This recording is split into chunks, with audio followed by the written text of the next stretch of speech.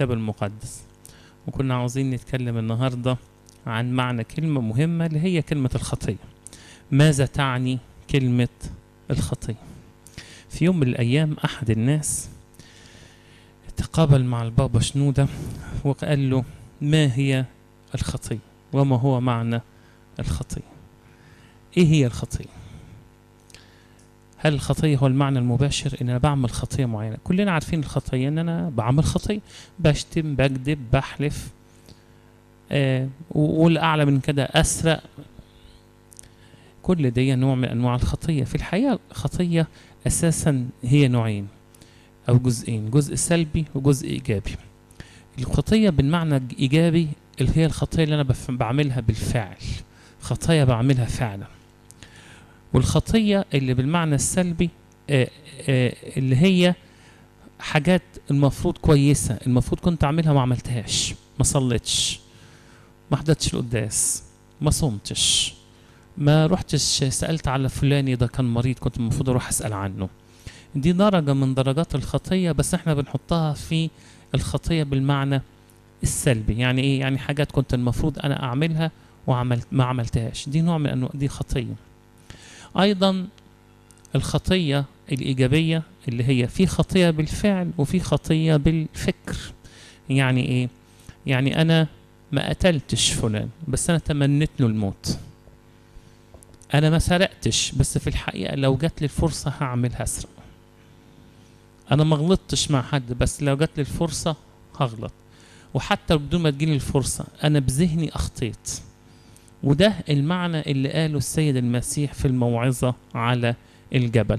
من نظر فاشتهى فقد زنى. يعني إيه؟ يعني هو قام بالفعل ولكن قام بالفعل في ذهنه أو في فكره. هو لم يقوم بالفعل بجسده بس هو قام بالفعل في إيه؟ في فكره. المجتمع ما بيحاسبش الإنسان على أفكاره لأنه ما يقدرش يطلع عليها. لكن بيحاسب الإنسان على أعماله. الله لا هيحاسب الإنسان على أعماله وعلى أفكاره. ودي أحد الفروق ما بين المجتمع والم- والمحيط وما بين الله. الإنسان يستطيع أن هو يخضع المجتمع. ويبان إنه إنسان كويس إنسان بار. وده كان بيعمله الفارسيين. كان يقولوا الناس ليهم يقولوا يا سيدي يا سيدي قال لك ولعلة تطيلون صلواتكم. لكن الله كان يعرف القلب فكان عارف قد إيه هم مصابين بحاجة اسمها الكبرياء والافتخار العظمة الكراهية للآخرين احتقار الآخرين كل دي خطايا موجودة جوه الإنسان وهيحاسب عليها. بالعكس هي هتفقده كمان أبديته تماما. زي الناس اللي هيجوا لربنا في الآخر يقولوا يا رب يا رب أليسنا باسمك؟ أخرجنا شياطين وباسمك صنعنا قوات. يقول عنهم اذهبوا عني يا ملاعين إني لا أعرفكم. إذا دول صنعوا خطايا لكن صنعوا الخطية بالفكر صنعوا خطية جواهم ما ظهرتش. السيد المسيح لما جه يعلم الناس حب يعلمهم إزاي يشيلوا الخطية من جذورها. ليه؟ أي خطية بالفعل الإنسان بيقوم بيها هي في الأساس كانت موجودة عنده بالفكر كانت موجودة كشهوة في القلب. والشهوة دي مع الوقت ومع وجود الفرصة تحولت إلى فعل. فالإنسان اللي كل همه جمع الفلوس هو في الحقيقة إنسان عنده شهوة اسمها شهوة حب المال. الشهوة حب المال المسيطرة عليه دي بتخليه كل همه إن هو يجمع الفلوس حتى لو هيضيع وقت طويل. شهوة حب المال دي بتخليه إن هو عاوز يجمع الفلوس حتى لو هياخد حقوق غيره. حتى لو هو هيسرق غيره. شهوة حب المال بيخليه يكره الآخرين يعني الآخر يتمنى له الفشل. يبقى اتنين رجال أعمال كبار وعندهم مليارات وواحد يزعل إنه التاني كسب. طيب ليه أنت زعلان؟ لأنه ده جمع فلوس أكتر مني فإذا هذه. الخطية في الأساس بتبدأ كشهوة جوه الإنسان كفكرة. والفكرة تتحول لشهوة في القلب والشهوة اللي في القلب دي بعد كده لما تولد زي ما بيقول القديس يعقوب تعمل إيه؟ تعمل خطية. اذا إحنا عندنا الخطية. نوعين؟ نوع إيجابي ونوع سلبي. الإيجابي اللي هي الخطية اللي أنا عملتها فعلا. والخطية اللي أنا عملتها فعلا دي تنقسم برضو لنوعين. نوع المجتمع يقدر يحاسبني عليها زي ما بيحاسب المجرمين. ده سرق ده قتل ده عم ده ده نهب ده ده ده, ده ايا كان. ونوع تاني أنا عملته بس الناس مش شايفاه. أنا عملته جوايا أنا عملته في ذهني أنا عملته في فكري. أنا عملته بس الناس ما شافتنيش وأنا بعمله وقدرت إن أنا أخفي. ده نوع من أنواع برضو الخطايا المباشرة يعني. الخطية التانية السلبية اللي هي الحاجات اللي أنا كنت المفروض أعملها وما عملتهاش. محدش هيحاسبني عليها طبعا بس هي خطية. بر زي ما يقول كده السيد المسيح أما الروح القدس فمتى جاء هيحاسب الناس على يبكت الإنسان على إيه؟ على بر على خطية وعلى بر وعلى دينونة. على خطية أنا عملتها فعلا وعلى بر أنا ما عملتوش خير كنت المفروض أعمله وما عملتوش. ده برضو درجة من درجات نوع من أنواع الخطية. هنا ما هي الخطية؟ فتعريفها أو أحد التعريفات أحد التعريفات لها يقول لك الخطية هي عدم إصابة الهدف. يعني إيه؟ البابا جه في مرة وقال عاوز أقول لكم إيه هي الخطية؟ قالوا له إيه هي الخطية؟ قال لهم هاتوا واحد ويخليه يحط تفاحة بعيد وبعدين يمسك سهم ويحاول ينشن. لو السهم جه في التفاحة يبقى السهم إيه؟ أصاب الهدف. طب ولو ما جاش يبقى لم يصيب إيه؟ الهدف. وما هو الهدف؟ الهدف هو الله. فإن كل عمل انت عملته وما قدرتش انك انت تتقرب من خلاله إلى الله فهو خطيه ايا كان درجة هذا العمل. طبعا في أعمال بشعة زي القتل والسرقة وي وي وي وي وي, وي لأنه دي خطية من درجة يعني صعبة. لأنك بتضر نفسك وبتضر الآخر. وفي خطايا زي الخطايا إن أنا ما زرتش واحد مريض إيه ما سامحتش واحد كان اهني في حقي. كان أهني وأنا ما سامحتوش ما حدش هيحاسبني على كده. بالعكس ده أنا لو حكيت للناس الحكاية هيقولوا له أنت عندك حق لأن هو ياما تعامل معك بطريقة صعبة. فدي الخطية.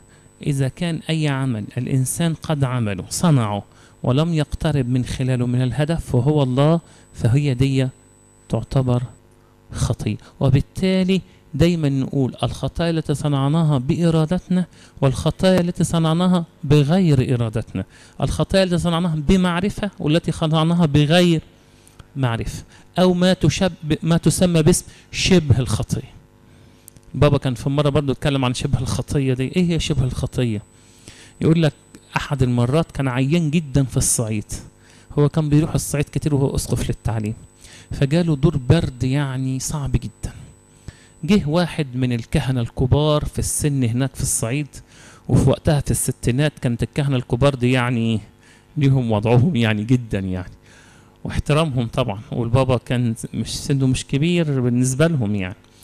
فقال الراجل جه يطمئن عليا وبعدين وهو جه لما جه يطمئن مسك سبحة في إيده وعمال ي... سبحة عمال يعني يصلي يخبط. قال في الباب بيقول كان كل يعني خبطة من خبطات الحبات بتاعت السبحة دي بالنسبة لي أنا شاكوش بدق في دماغي من التعب اللي أنا فيه. فقال دي تعتبر إيه؟ شبه خطية. هو اللي بيصنعها مش عارف إن هو بيصنع حاجة غلط لأنه في النهاية ما بيعملش حاجة غلط. لكن هي ضرتني أنا فتعتبر إيه؟ شبه خطية. آه دي اللي اسمها إيه؟ الخطية وشبه الخطية. طيب برضو قصة الخطية تدخل فيها حاجة مهمة جدا أو اللي هي العثرة دي برضو حاجة حساسة قوي وبتحصل كتير قوي. أنا خادم في مدارس الأحد أو أنا شخصية معروفة في الكنيسة أو أنا موجود في الكنيسة على طول. ما يصحش مثلا أقعد على قهوة. ما يصحش الجيران يسمعوني وأنا بشتم بشتايم صعبة. طيب ما أنا إنسان ودرجتي الروحيه مش عالية وفي ضغوط عليا فغصب عني اعصابي بتفلت. آه بس أنت كده بتكون سبب عثرة لناس تانية. ليه؟ لأنه الناس اللي هتسمع هيقولوا أول حاجة بصوا اللي بيروحوا الكنيسة ده إحنا أحسن منهم. بصوا دول طول النهار في الكنيسة ومخاصمين بعض. دول طول النهار في الكنيسة وبيشتموا الشتايم دي. دول طول النهار في الكنيسة ويصدقوا عمر قرايبهم ما بيزوروهم وهم ما بيزورهمش وفي خلافات ما بينهم. فدي اسمها العثرة فالعثرة تعتبر نوع من أنواع الخطية مش نوع من أنواع طبعا الخطية مباشرة. ودي كانت مشكلة قابلت القديس بولس الرسول كبيرة جدا. المشكلة كانت في وقته إنه كانت في لحوم بتتقدم للأوثان وبعدين تتباع في المحلات في في ال- في الجزارات أو كانت لما يجوا يعزموا الناس كانوا زمان بيعزموا الناس في ولائم. يقول لك نعمل عشوه نعشي فيها الناس كلها. فيجي الناس تحضر الولائم دي وإيه؟ وتاكل. فبعض الحاضرين كانوا بيبقوا عارفين إنه هذه اللحوم كانت مذبوحه على اسم وثن. فانقسمت الكنيسة في الوقت ده نوعين. جزء يقول إيه؟ هو في حاجة اسمها وثن؟ لا. اذا ده وهم. آه. آكل أنا بقى براحتي. إيه المشكلة؟ وده كان رأي إيه؟ سليم. القديس بولس الرسول ما قالش إنه راي غلط ولكن ولكن قال إيه؟ قال لا خدوا بالكم إنه فيه ناس بسيطة ضعيفة في الإيمان وضميرها بسيط. فلما تلاقيك بتعمل كده هي إيه؟ تتضايق. تحس إنه في عمل غلط اتعمل. فده اسمه إيه؟ العثره فده ده نوع من أنواع الخطايا اللي كتير جدا من الناس بتعملها وما بتاخدش بالها منها. طيب نتيجة الخطية إيه هي؟ الخطية إذا كان الهدف الأساسي هو الاقتراب من الله فالخطية هي معناها عدم إصابة الهدف يعني الابتعاد عن الله. دي النتيجة المباشرة للخطية. الانفصال بين الله وبين الإنسان الذي صنع الخطية هي دي أكبر نتيجة صعبة للخطية لأنه الخطية بتجلب على الإنسان تنزع عنه النعمة. عمل الروح القدس اللي جواه ما يبقاش ظاهر ما يبقاش باين. عشان كده القديس بولس الرسول قال لا تطفئوا الروح ولا تحزنوا الروح ولا تقاوموا الروح. طب إحنا بنقاوم إزاي أو بنطفي إزاي؟ بالخطية. الخطية بتعمل حاجز بين الإنسان وبين الله. فيبدأ عمل النعمة اللي ربنا عاوز يشتغل معاك بيه يخفت يضعف. في نفس الوقت بيزداد كبرياء الإنسان وتصلفه وتذمره. ويزداد حبه للخطية فتتحول الخطية إلى طبع وعادة. خلاص هو بالنسبة له مش مشكلة. عشان كده ناس كتير يقولوا إيه؟ يقولوا اللي اللي عمل جريمة مثلا آه، آه، قتل واعتاد عليها. ده بدأ في الأول ان هو قتل طير أو قتل حمامة وبعدين اعتاد على كده وبعدين اعتاد على كده وبعدين ضرب إنسان في مرة ما هموش وبعدين موت واحد فعلا. فالخطية بتبدأ صغيرة وتكبر تكبر تكبر. ليه؟ أنا ما بسمحش ما بسمعش لصوت الروح القدس جوايا وما بسمعش لصوت الضمير. ناخد بالنا إنه أي إنسان عنده ضمير اللي هو الصوت اللي وضعه الله داخل كل إنسان مش صوت الله ولكن الصوت اللي وضعه الله داخل كل إنسان. إحنا كمسيحيين كمان عندنا عمل تاني اسمه عمل الروح القدس. فالإنسان لما بيكون قريب من ربنا بأي درجة يقول لك ده بيخاف ربنا. تلاقي هو لوحده في حاجة بتنغزه كده مش مرتاح للعمل ده. رغم إنه مش غلط يقول لك لا أنا مش مرتاح للقعدة دي. لا أنا مش مرتاح للجمل دي. لا أنا مش مرتاح للمسلسل ده.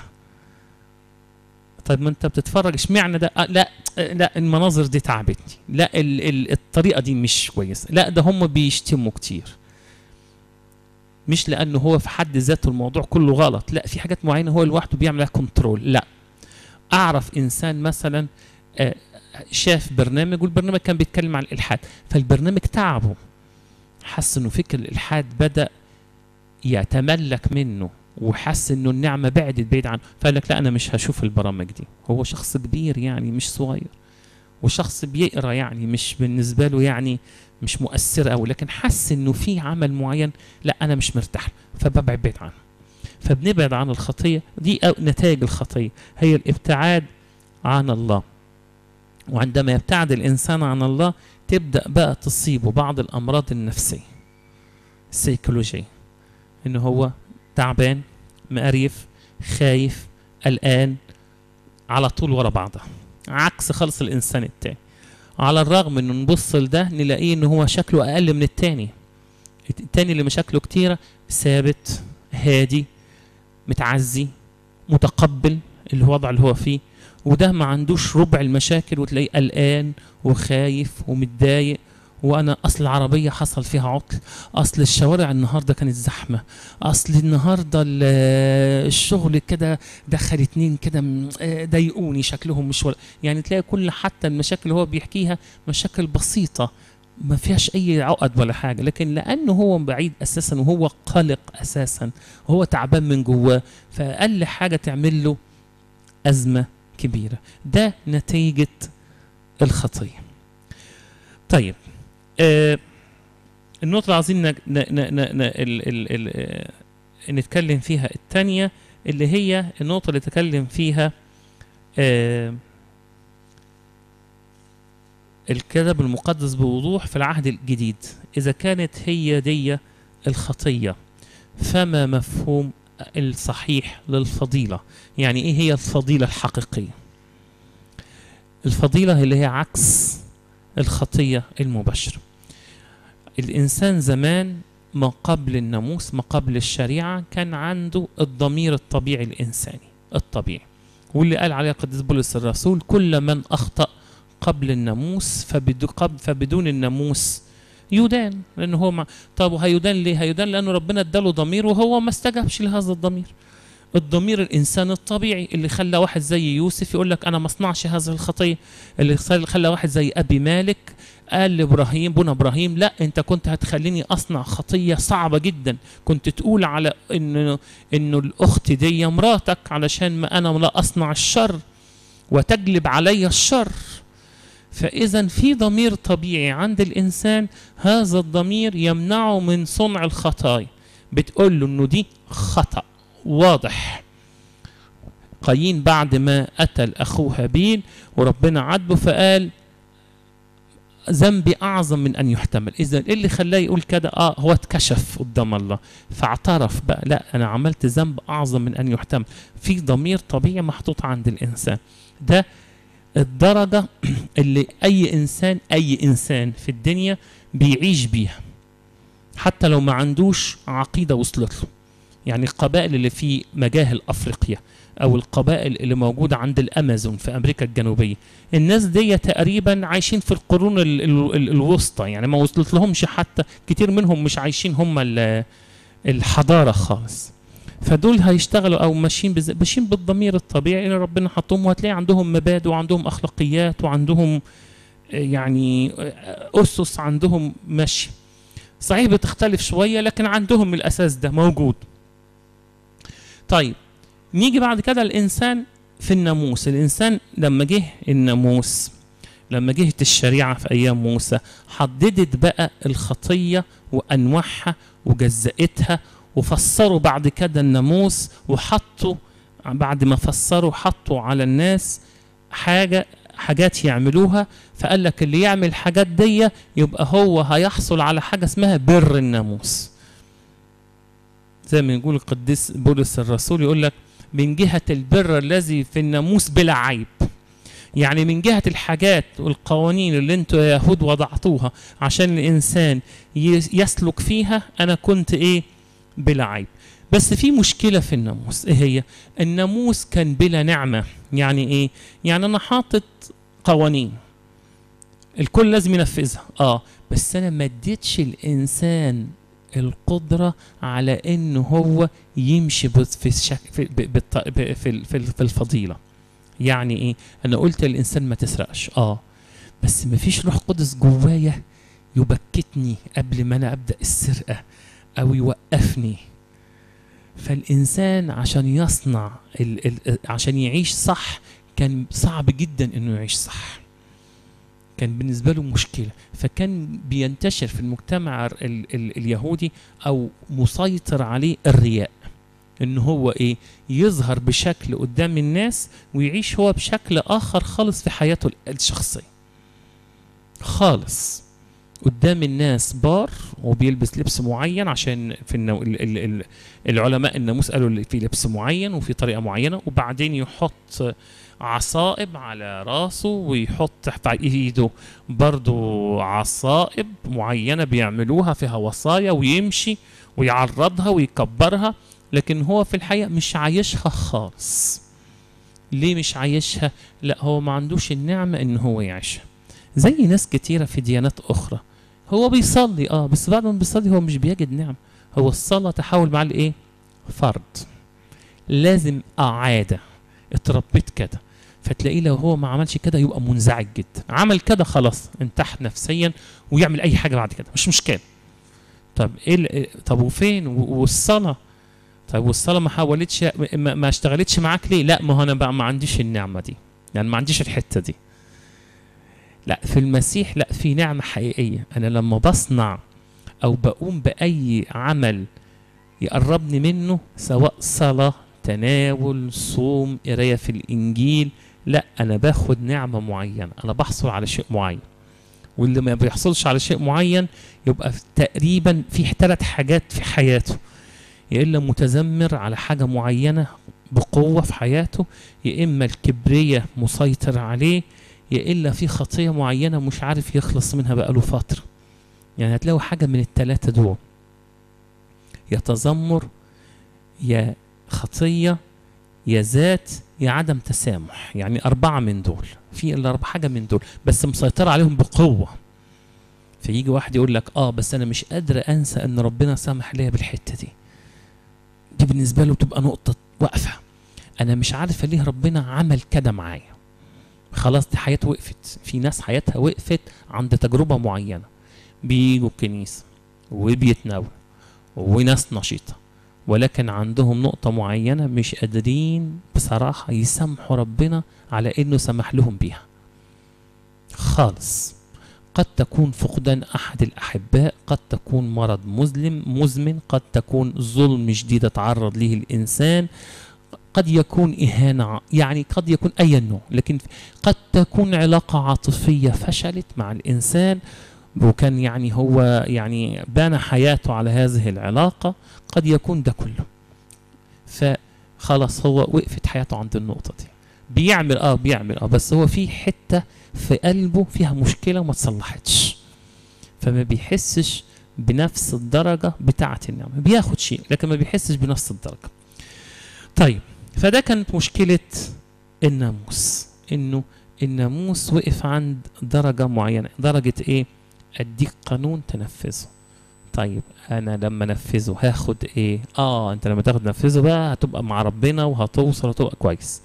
طب ما أنا عاوز نعمة أنا عاوز بركة أنا عاوز إحساس بالهدوء ما بيني وبين نفسي أنا عاوز سلام أنا عاوز فرح أنا عاوز ثمار الروح القدس اللي اتكلم عنها القديس بولس الرسول لا دي ما أقدرش أديها لك لأنه دي لازم يجي المسيح بقى هو اللي يديها لك. أنا ما أقدرش أديها لك.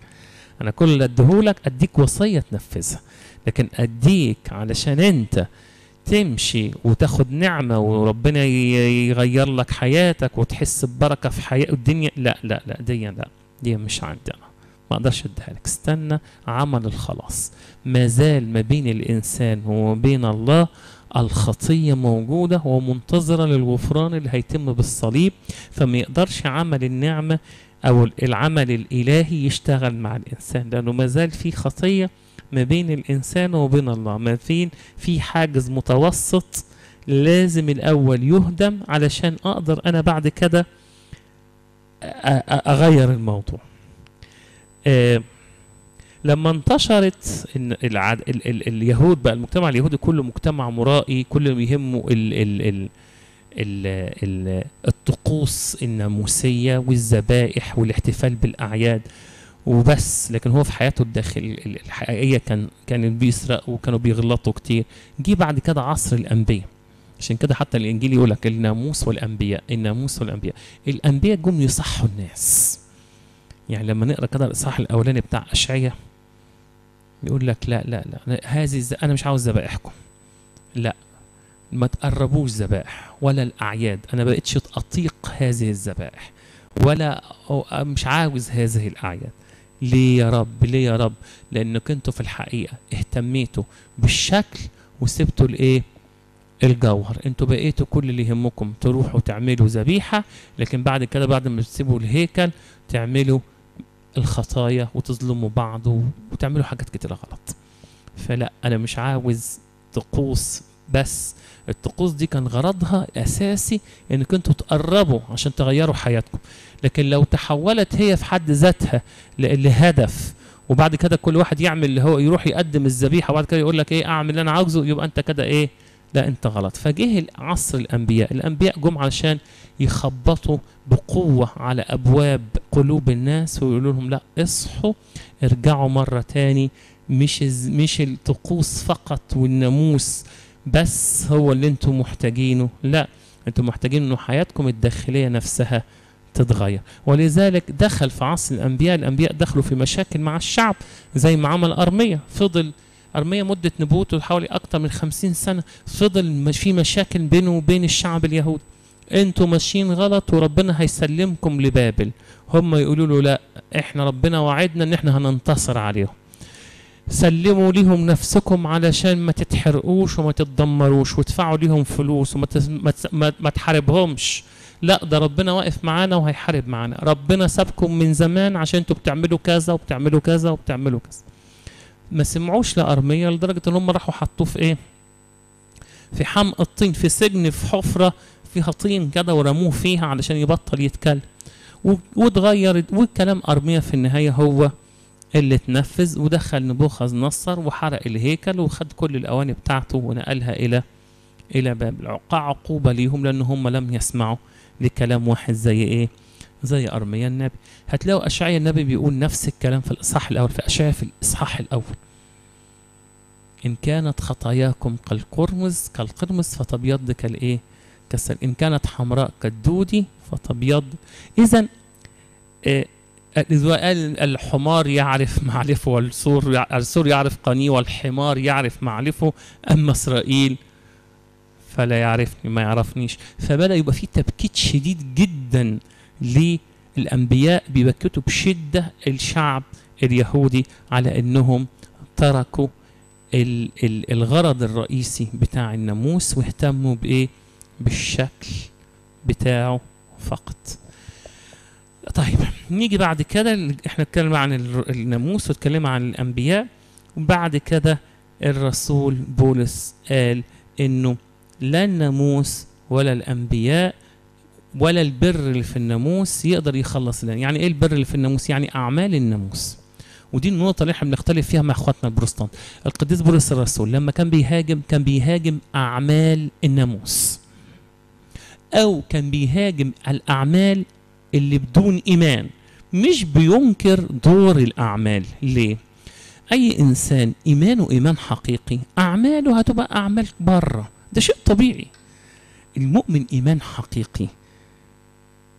هيعمل أعمال كويسه إذا كان على الإيمان طب ما الشيطان بيؤمن. وده اللي قاله القديس يعقوب الرسول ببساطة. قال والشياطين أيضا يؤمنون ويقشعرون.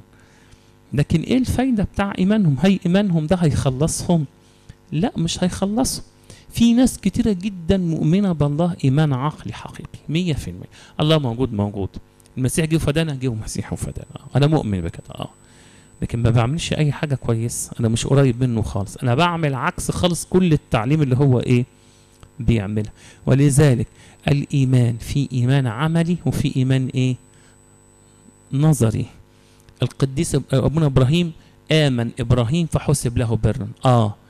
بس إيمان إبراهيم خلاه إيه؟ خلاه لما ربنا قال له اترك أهلك وعشيرتك وبيت أبيك واذهب إلى الأرض الذي أريك إليها شال وماشي قدم ابنك قدم ابنه اعمل كذا بعمل كذا إذا إيمانه اقترن بأعمال وإذا الإيمان بدون أعمال هو ميت إيه؟ في ذاته ملوش إيه؟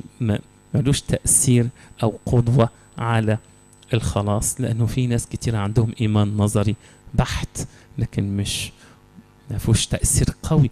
الإيمان القوي بيغير الإنسان من جوه فنظرته للحياة بتختلف.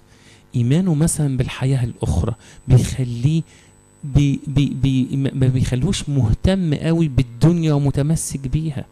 ما بيخلوش ابدا إن هو يكره الناس يخليه يسامح بسرعة. إذا الإيمان بيبقى الإيمان الحقيقي بيبقى ليه تأثير على سلوك الإنسان. لكن إحنا ساعات بنمسك في الموضوع ال- ال- الكاثوليك البروتستانت يمسكوا في الموضوع ده خصوصا في رسالة روميا ورساله غلاطيا ويتكلموا عن الإيمان. طبعا في رسالة روميا هنتكلم في إصحاحات كاملة. عندنا الإصحاح الثالث والرابع والخامس بالكامل كده بيتكلم في الجزئية دي. وممكن نطلع منها كمية آيات عن أهمية الإيمان وإنه الأعمال ملهاش دور كبيرة جدا. المقصود قديس بولس الرسول كان بيخاطب مين؟ كان بيخاطب اليهود. فبيقول لهم ما تتمسكوش بأعمال الناموس. مش الناموس مش أنتوا مفهومكم غلط. أنتوا مفهومكم مش مظبوط. مش أعمال الناموس اللي هتخلصكم انما الإيمان في بالمسيح هو اللي هيخلصك مش إنك أنت تتمسك ببر الناموس يعني بر الناموس يعني الأعمال اللي في الناموس المفروض تعملها كلها تعملها. لا إن اللي هيخلصك هو بر المسيح. فهو كان عاوز يفهمهم يخرجهم عن تمسكهم بالديانة اليهودية علشان يبدأوا فعلا يؤمنوا بطريقة سليمة بالمسيح ويفهمهم إنه لا الديانة بتاعتكم مش هتخلصكم. وهو قال كده. وكان بيتكلم كراجل يهودي فريسي فكان بيقول لهم أنا أنا عشت الحقيقة أنا بقى عايش في الموضوع أنا راجل فريسي ابن فريسي يعني برضه كان فريسي وهو فريسي من سبط بنيامين من جهة البر الذي في الناموس بلا عيب من جهة إسرائيلي من الكلام ده قاله في, في فيليب بالتفصيل من جهة الغيرة مضطهد. مضطهد للكنيسة يعني من جهة الغيرة على الناموس وعلى. الديانة اليهودية أنا اضطهدت الكنيسة وبهدلت الدنيا يعني. فما في عاوز يقول لهم إيه؟ ما فيش واحد متعصب قدي أو أو أو أو أنا من أكتر الناس تشددا من أكتر الناس اللي درست الناموس. أنا تربيت عند أقدام غمالائيل في أورشليم مؤدبا بالناموس مؤدبا بالناموس الأبوي. يعني عشت كأكتر اليهود تشددا. فما تجيش انت يا يهودي تعلمني وتقول لي الناموس هيخلصني؟ لا لا ما ينفعش لأن أنا أنا عشت العيشة دي مش عشتها بس ده أنا عشتها بعمقها. فأنا درست وعملت وفعلت وكنت أيضا أصنع الخطية بالفكر. عشان كده في روميا سبعة بيتكلم إنه الناموس ما حررش إرادتي ما حررش غرايزي ولا رغباتي بل بالعكس ده عمل مشكلة. إن هو إيه؟ آثار هذه الرغبات والشهوات. ليه؟ لأنه الناموس قال للناس إيه ما تعملوش كذا ما تعملوش كذا ما تعملوش كذا. في بعض الخطايا موجودة في الناموس الناس ما كانتش تعرفها. مين اللي عرفها لهم؟ الناموس. فكانت بعض الأفراد وبعض القبائل في بعض المجتمعات ما تعرفش إنه ده بيحصل. وده في بعض الناس قالتها قالت لا إحنا ما كناش نعرف إنه ده غلط وده ما كناش نعرف إنه دي موجودة. وربنا قال ما تعملوش كذا. هو كذا دي في ناس بتعملها؟ آه. فيبدأ الناس يقول هو إيه كذا دي؟ فإذا بدأت الخطية تاخد فرصة بالناموس. يعني بدأت الناس تتعرف على بعض الخطايا اللي ما كانتش عارفاها قبل كده عن طريق الناموس. فأثرت الإيه؟ الشهوة. مش لأنه الناموس غلط لا الناموس حلو وجميل. هو بولس الرسول قال كده. ده صالح على كل حال ولكن بدون نعمة أصبح الناموس ثقل على الإنسان مش مخلص للإنسان. آه، فدي الفضيلة. الفضيلة الحقيقية لازم تقترن كلمة كده بالمسيح يسوع. ولو عدينا كلمة بالمسيح يسوع أو بيسوع المسيح ربنا هنلاقيها مكررة في تقريبا معظم كإصحاحات القديس بولس الرسول. يعني لدرجة إنه في أحد الإصحاحات في روميا موجودة مرتين. يحط بالمسيح يسوع ربنا. أو بيسوع المسيح ربنا أو في المسيح يسوع ربنا. الفضيلة الحقيقية لازم تبقى مقترنة بإيمان حقيقي. وده الفرق ما بيننا وما بين الناس اللي بتصنع الفضيلة وهم مش مؤمنين خالص مش مسيحيين. هم أيضا يصنعون البر ويصنعون الفضيلة ما عندهمش مشكلة. هم بيعملوا كويس حاجات كويسة. هو الضمير بتاعه الإنساني مربينه على كده. لا ما تسرقش ما لا ما تقتلش لا ما تحلفش لا ما تعملش كذا لا ما تعملش كذا. الضمير الإنسان الطبيعي. ولكن هذه الفضيلة بدون الاقتران بالإيمان بعمل المسيح الخلاصي بالتجسد وبالفداء هتصبح ليس لها قيمة. إحنا قلنا إنه في نوعين من الأعمال ليس لهم قيمة. أعمال الناموس اللي هي الأعمال الموجودة في الشريعة تقديم الذبايح والاحتفال بالأعياد وتقديم. كل دي وتقديم الختان وأعمال التطهير بأنواعها دي أعمال مرفوضة. الأعمال التانية الأعمال الحلوة اللي الناس بتقدمها زي الناس اللي بتفتح جمعيات خيرية وناس عاملة أعمال حلوة بس بدون إيمان بالمسيح. فالأعمال بدون الإيمان ليس لها قيمة. دي النوعين من الأعمال اللي مش بيخلصوا الإنسان. لكن العمل الذي يقترن بالإيمان بالمسيح وعمله الخلاصي الأعمال هذه تخلص الإنسان. دي مقترنة بدي. آه، طولت عليكم وأطلت عليكم والموضوع ما فيهوش لا قصة ولا فيه آية ولا فيه موضوع كده. معلش أخطيت. آه، معلش أنا آسف. ربنا يبارك في حياتكم. صدقيني دي حتة أنا أبحث فيها معناها اللغوي إيه؟ الفرق بين الاسم والخطية. هشوف دي معناها إيه؟ حاضر. لأنه فعلا دي حاجة دي تبقى حاجة. فأنا بدل ما إيه؟ أتكلم كلام الإفتاء لا طبعا أبحث عنها. حاضر. في حاجة تانية؟ ربنا يبارك في حياتكم. لكم بالنعمة وحافظ عليكم. اتفضل نصلي.